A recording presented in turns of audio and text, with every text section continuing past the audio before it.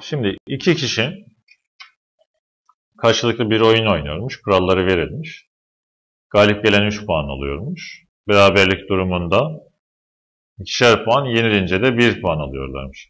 Yani galibiyette 3, beraberlikte 2, mağlubiyet durumunda da 1 puan alıyorlarmış. Şimdi 16 oyun oynanıyor. En az birer kez galibiyet, beraberlik ve mağlubiyet yaşanacak. Yani şunlardan birer kez yaşayacaklar. 1, 1, 1. Ve 30 puan alan bir oyuncu. Her birinden işte birer kez yaşandığına göre bir kez galip geldi. 3 puan aldı. Bir kez berabere kaldı. 2 puan aldı. Bir kez mağlup oldu. 1 puan aldı. Toplamda 6 puan almış oldu.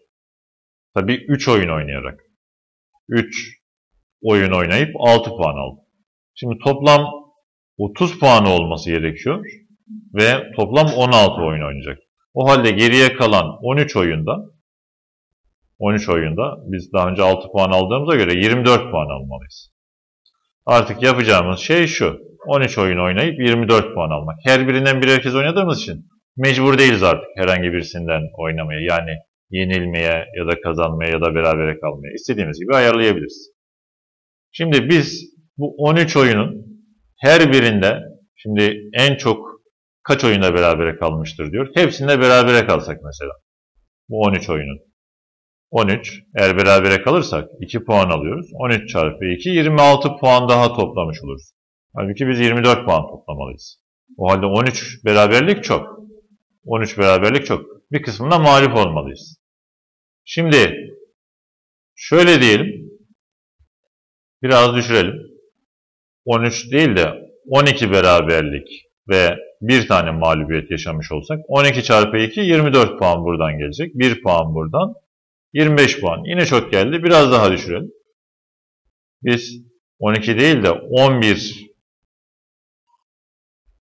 11 kez berabere kaldığımızı düşünelim. 11 beraberlik ve 2 mağlubiyet yaşadığımızı düşünelim. Galibiyet alırsak şunu beraberliği düşük tutmamız gerekir. Bizim amacımız beraberliği çok tutmak. Yani çok kaç oyunda berabere kalır diyor. Eğer buradan yüksek puan alırız galibiyetten bunun sayısı azalmalı o yüzden. Çünkü puanımız 24 olmalı. Şimdi 2 puan alıyoruz her birinden. 2 çarpı 11. Artı bunların her birinden 1 puan alıyoruz. 2 çarpı 1. 2 kere 11. 22. 2 de buradan gelecek. 24. 24 puanı almış oluruz. Demek ki 11 beraberlik 2 mağlubiyetle biz 24 puanı toplayabiliriz. O halde en çok 11 kez berabere kalabiliriz. Daha fazla berabere kalamıyoruz. Puanımız daha yüksek çıkıyor o zaman.